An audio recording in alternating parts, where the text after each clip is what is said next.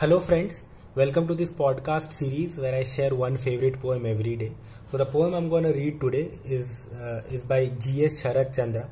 He was born uh, near Mysore in a place called Nanjangud, and he he lived his student life in Bangalore before he left for UK, uh, where he studied further, and he eventually settled in US in Kansas City, where where he taught at the University of Missouri. Uh, his poetry, one of his book of poems, was also nominated for Pulitzer Prize, and he's uh, till date he is remembered for his great short fiction and poetry among the U.S. readers. It's unfortunate that the Indian readers have forgotten him. Uh, he's not remembered as much as we would want him to be remembered. Uh, his poems were anthologized in Jeet Thayil's uh, 60 Indian Poets anthology, and uh, some beautiful, brilliant poems are present in this anthology, which I also intend to translate at a later stage. Uh, the poem I'm going to read today by by by G.S. Sharat Chandra. Uh, it's a short piece. The poem is called "Consistently Ignored." I'll read the poem first. Consistently ignored in a family of ten, I asked mother, Am I your real son? She paused from grinding spice. No, I bought you from a beggar for a bushel of rice. From behind, sisters giggled. I matched features, spied on beggars, roamed the backyard thinking of distant huts, certain my mother sat busy in one, scheming to trade another son for fish to add to that bushel. This is a very fairly simple poem, but if you look a little deeper be, be, between the lines, be beyond the text, uh, one of the things that that strikes me the most is how the mother who, who this innocent child has had interaction with, who is uh, mean in her own in her own motherly way, uh, and as he leaves that space, he match, matches features and spies on beg- beggars, roamed in the backyard thinking. Uh, now, now he's actually not thinking of his real mother. He's thinking of his uh, of, of his of his mother who had just made fun of him. He's thinking of his his fictitious real mother, who might be there in one of the huts, uh, scheming to uh, you know trade another son for a fish to the to add to that bushel bushel of rice that that he has been traded against. Now, even in his imagination, and this is what makes this poem so powerful. Even in his imagination, uh, the mother he thinks of is a is a manifestation of the same mother that that, that his actual mother. It, it she has the same meanness, the same. Uh, she's also busy. Uh, my mother sat busy in sat busy. Even his real mother is sitting busy, grinding spice. So, despite you know the poem taking off from there, it actually comes back and, and talks about the same mother, and this is the real innocence of this child. So even it's in its form, this poem is very cyclic in nature, uh, and this form really works for this poem. is is something that that we need to take note of. There's another poem in the same book which is also very cyclic in nature. I'll read this poem for you. Rule of Possession, again by G.S. Sharat Chandra. Rule of Possession. My rule of possession is simple. Let each man claim the part of a stone he throws into a river. The place shall be marked as the measure of his holding, a throwaway display of silver. Those that see great wisdom in this shall sleep peacefully on any precipice. Those that try it, those that try it out, shall have magnificent hands. Those that laugh at this shall soon turn into stagnant ponds, surrounded by men throwing stones. So, again, the poem calls itself back. In one of the previous episodes, I had read uh, William Matthews' uh, poem, William Matthews' uh, poem No Return.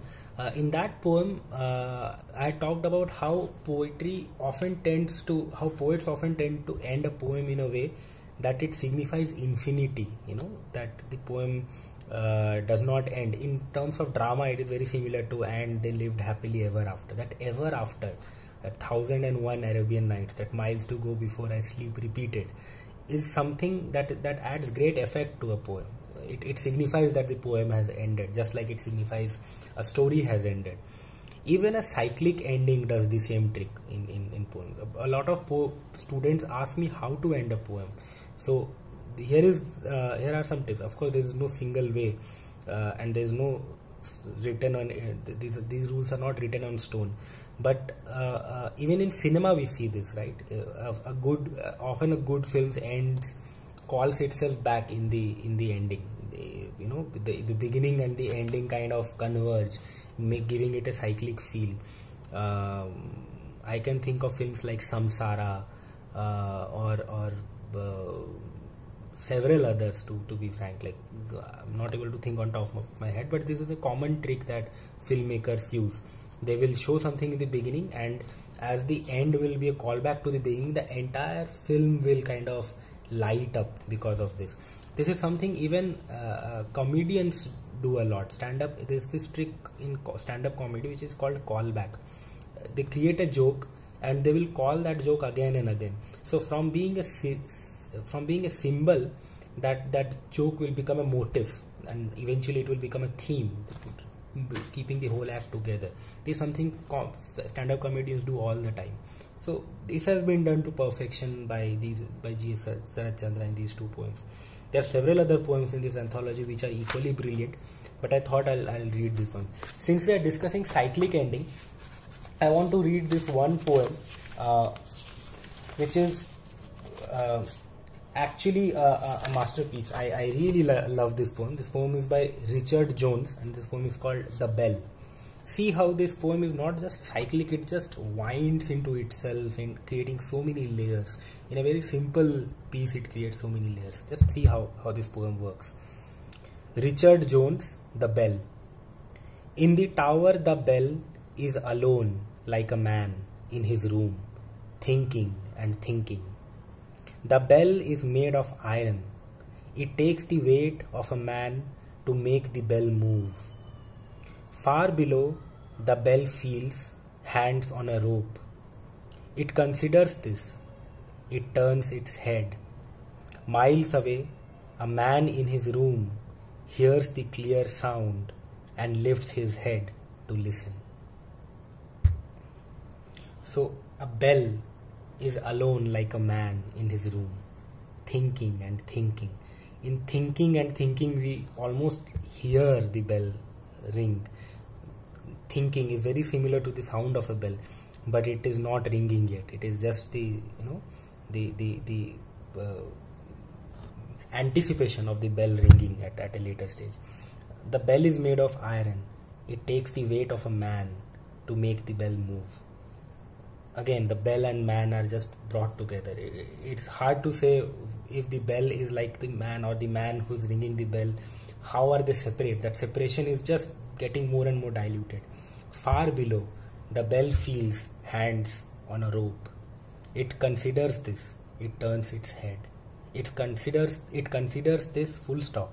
The bell has considered it that someone is has the hands on on his rope and the weight of a man to make the bell move. We have already read it in the last stanza so we know that the man has really you know applied all his weight on the on the rope. It turns its head. So the bell turning its head. We still don't hear the bell. We just visualize it turning its, its head. And the sound gets created in our own heads you know.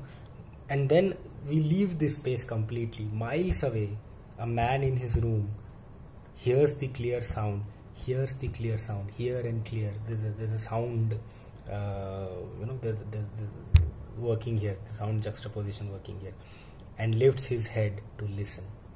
Such a powerful poem. It has the cyclic cyclicity written all over it. And and and the whole poem just comes together to add layers and layers of meaning in these four simple stanzas so yeah this is something that we, we although this comes across as very formalist that which is a great thing uh, we, we, we it's, it's, it's a great expression of solitude it's a great expression of melancholy uh, and and that is what makes this poem so so so much better.